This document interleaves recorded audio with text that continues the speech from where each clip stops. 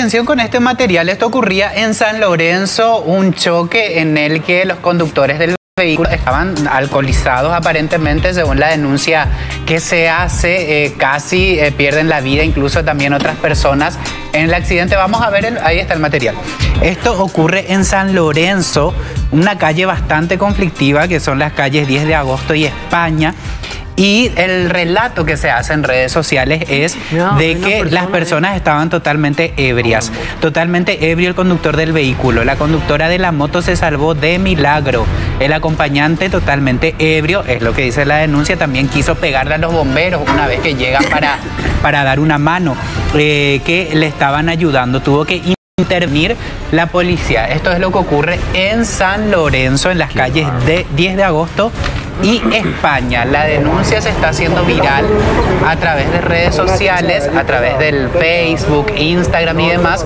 Hacen circular este video de este momento que se vivió en la ciudad de San Lorenzo, donde estos conductores en aparente estado de ebriedad, día. de día, Sí. eh, casi eh, chocan con una moto, bueno, un- chocan con una moto, casi eh, se salvan de milagro, como dice el reporte.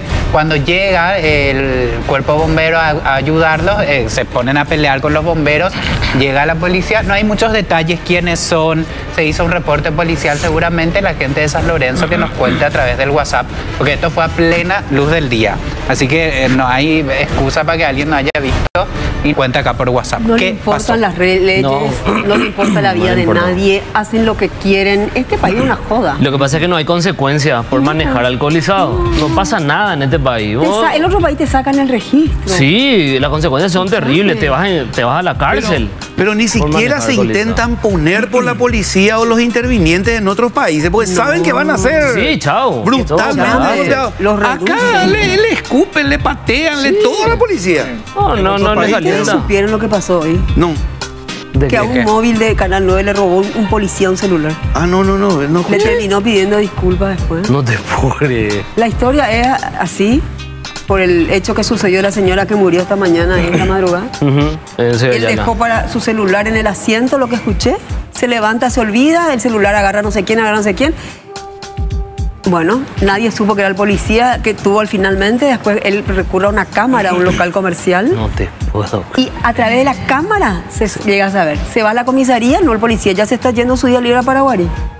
Le llaman, nadie no atendía hasta que le llama el propio comisario, atiende. El celular ya no tenía el chip, ya no tenía esto porque estaba roto. La lámina, nada, ya le sacó todo. Ya lo transformó como para. Le devolvió y le pidió disculpas. Perdón sin querer. ah, no sé. Mil excusas. Sí. Mil excusas. Perdió muchos archivos, cosas que él tenía. Un periodista y un policía que estaba cubriendo el accidente. bueno, después del chisme así, Pues sí. Eh, preguntaban sobre los datos de este accidente de tránsito y nosotros tenemos ya un video nuevo que nos facilitan justamente eh, sobre este accidente de tránsito que ocurrió hoy a las 14.45. Ocurrió este accidente de tránsito y bueno, los implicados, ¿dónde? Ahí está, miren, fíjense. Ay, Dios Ahí mío, está, esta Dios cámara de seguridad. La, no puede ser. Así que en exclusiva la producción de Pelusa conseguimos el video. Pero Ahí- escúchame, Freddy. Mira. Esto fue simultáneo. Sí, totalmente. Atendé, atendé. Ahí van los vehículos. Mira, atendé lo que va a hacer. Ahí va la motociclista Mira, la mira. presidencial y ahí le paso encima. Dios mío. Es que fue imposible que este hombre pare. No, imposible. Pero claro que va a ser imposible si estaba borracho. Pero, pero de cualquier manera, Freddy, la moto estaba encima ya de él. Pero la moto iba por su carril Freddy, preferencial. lo que vos me digas, no pudo frenar ese tipo. No, ya no pudo Pero frenar. fíjate, ahí dice de pare. pare. Yo enorme. sé todo lo que vos me decís, pero te estoy hablando del momento. No, no puedo discutir. ¿Eh? No puedo hablar. Ok. No puede hablar. Bueno, la cuestión está en que ese vehículo tenía que parar. ¿Verdad? Y ahí, como vemos, lo- nadie para, todos van sacando la punta, sacando la punta, ¿verdad? Y va la moto confiada y ahí la camioneta le pasa por encima, como ustedes puede- pueden ver. O sea que pudo haber sido terrible. Pudo haber sido No, mortal. Bueno, 14.45 de hoy, España y 10 de agosto ocurrió este accidente. El que conducía el vehículo tiene 20 años, se llama Nicolás Gregorio Gómez Amaniego. ¿Y cuánto le salió la prueba de alcotés? 0.488. 20 años. tiene Dos de la muchacho. tarde. Dos de la tarde. de hoy. Atajate de- para, porque viste que iba acompañado con otro amigo, ¿verdad? Bueno, su, amigo, su acompañante es José Alejandro Rodríguez Alonso, de 36 años. ¿Sabe cuánto le salió la prueba del Cotés?